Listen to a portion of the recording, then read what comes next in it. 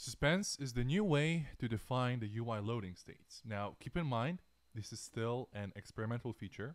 React, the React team officially recommends using that with the Relay library, which is a GraphQL, I believe, library. And you should not use it in production yet.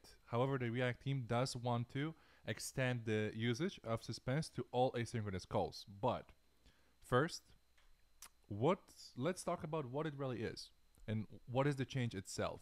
So on the left here, you you can see my left uh, my list component, and you can see that it's trying to fetch some kind of data, and it also displays the loading state while the data is being fetched. Now, what Suspense introduces is I no longer have to define the loading state inside of my component. All I have to do, all I have to worry about really, is just getting the data. And then in the list parents component, I can just wrap it, wrap the list with suspense, and as the fallback attribute, provide my spinner. Now you may ask, why was this even introduced? And the answer is mixing concerns. So on the left here, you have the typical way of how you would fetch uh, data and how you would display the loading state, right? So the problem here is that we are mixing two concerns. One is fetching the data, and two, displaying the loading state. Why is it bad, you may ask? Well, there are two reasons. The first one is that it's difficult or at least tedious to add service calls to existing components because not only you have to worry about okay i have my component and it, it has to fetch something and uh, I, have, I, I have to display the data somehow i also have to worry okay while the data is loading what am i gonna do am i gonna here am, am i gonna return null or a spinner or whatever else so that's the first issue the second issue is that it's difficult to synchronize different components to show up at the same time after they fetch the data. So for example, I have my tree structure here. I have my main, the parent component that's called page, and it has a header and a list. And both the header and the list are trying to fetch some kind of data.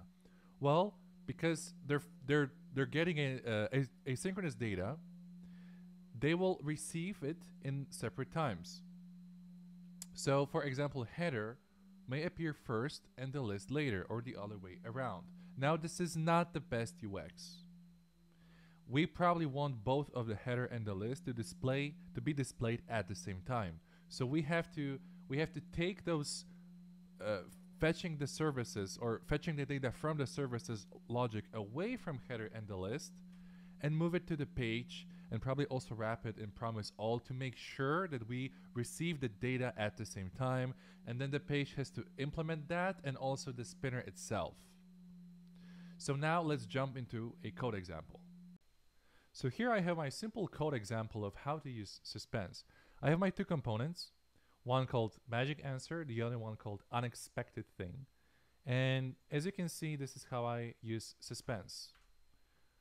I just wrap my components with suspense and I define loading component or a component with text loading as uh, the fallback attribute. And this is what happens when I refresh the page. I see my loading te text and then after a while I have my uh, my answers, my answers of life, important questions answered finally. Excuse me both of those components are using some kind of service, right? So suspense will not display any of the components inside of it until all of their service calls finish. What does it mean? Let's say I want to add another component here inside of my suspense, but this time this is just going to be a regular text that displays hey. Oh, wrong button. As you can see here, I'm going to refresh it again so you, you can see it more clearly. I don't see my hey text displayed immediately. Why? Let me see that again. Because magic answer and unexpected thing hadn't finished their fetching yet. And because of that, suspense didn't, didn't display anything.